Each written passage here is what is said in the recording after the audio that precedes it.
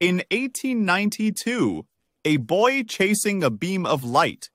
This thought ultimately changed the world forever.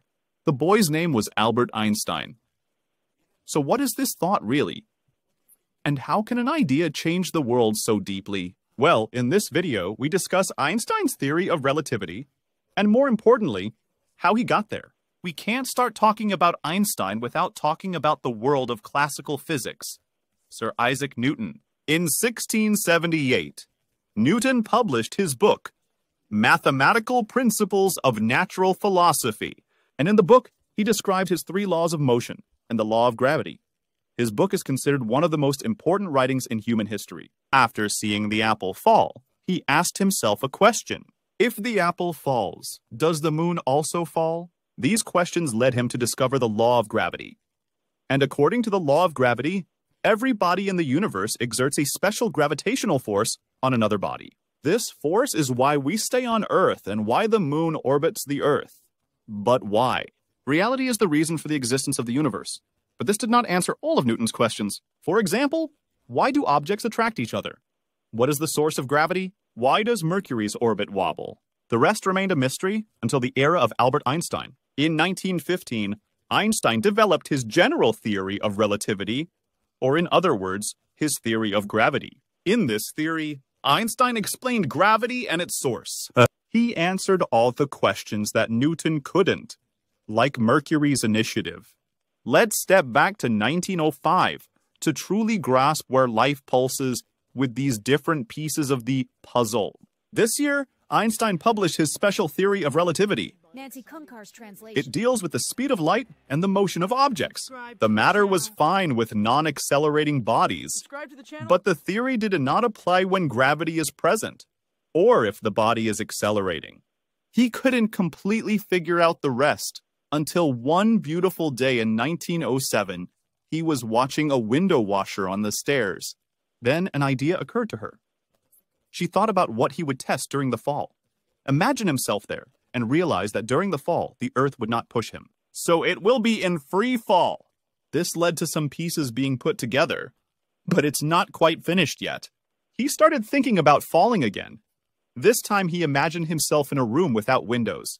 Whatever your current weight is, you will weigh it on the surface of the Earth. But imagine if the room was in a spaceship moving upward at the same speed it is moving here on Earth. It's 9.8 meters per second squared. At that moment, if you weigh yourself, your weight will be the same as your weight on Earth. Einstein realized that the observer would not be able to know whether he was on a spaceship or on the surface of the Earth because it will move at the same rate of acceleration.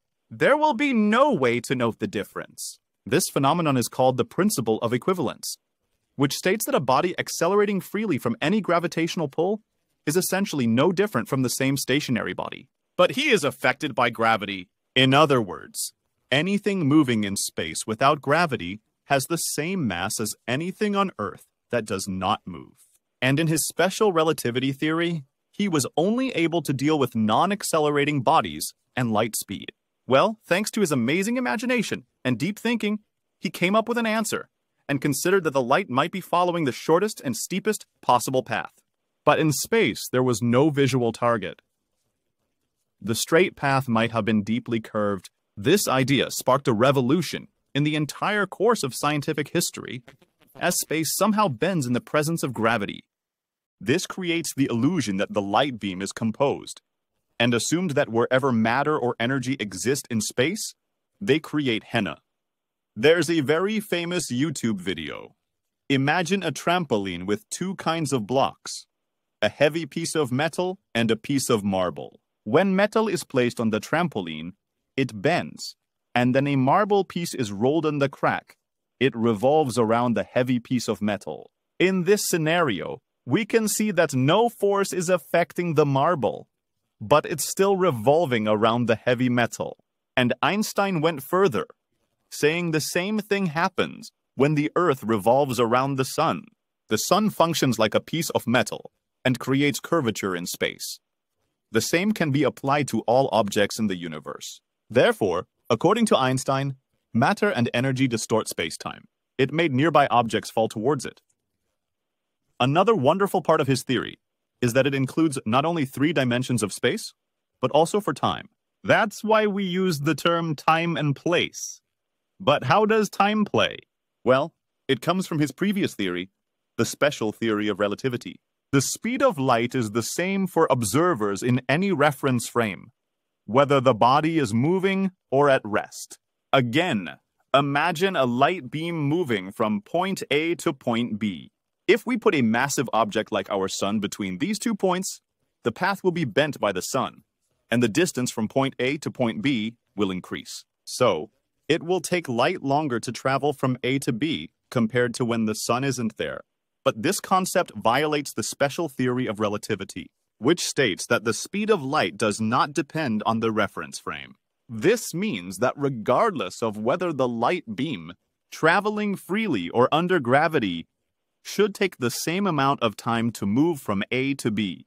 So, for special relativity to be correct, time must slow down in a sense. Time moves slowly when you're near a massive body in space, and moves faster when you're away from it. For example, time for us on Earth is slower than the time for astronauts on the International Space Station. This is what was happening directly confirmed by many experiments. This phenomenon is called gravitational time dilation. A century ago, nobody took Einstein's ideas seriously, but only after four years, he published his general theory of relativity. Astronomer Sir Arthur Eddington conducted an experiment to test this. There is only one way to see the stars while the sun is shining. This happens during a total solar eclipse. You need to be in the right place at the right time, under a clear sky, Stand somewhere along the narrow path, where the moon aligns perfectly with the sun and the earth.